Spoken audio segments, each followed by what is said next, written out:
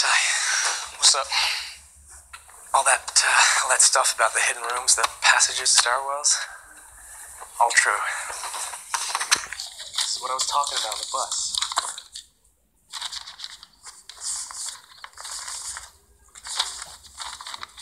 So what? Okay.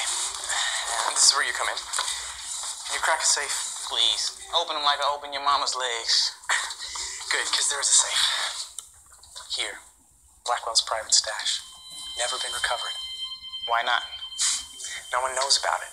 This place is a goddamn maze, but I got the blueprints. Look, man, I'm not trying to get no more time you on won't, you won't. Look, if we get caught wandering, you know, we just say, we got lost. It's simple. And this shit is current. Of course it is. I mean, why wouldn't it be? You telling me after 35 years, no one's found this so-called safe? You got anything else better to do? All right, Richie Rich, I'm down.